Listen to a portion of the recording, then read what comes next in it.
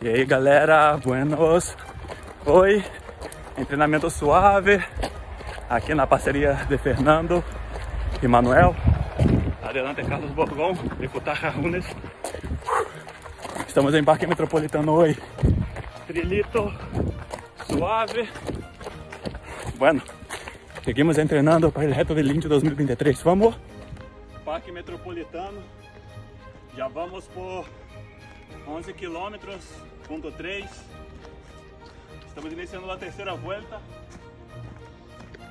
Bueno, esse é o treinamento para o Reto del Índio. Pero próximo fim de semana, dia 24, vamos por 50 quilômetros em El Vale. Tchau! Uh, finalizando aqui, trilito em Parque Metropolitano 16.6. Uh, a umidade alta. Vamos! Uou! Tá pago de Viernes Santo e depois do sacrifício vêm as bendições. Relajar, comer um pouquinho. É isso, galera. Valeu! Beijo!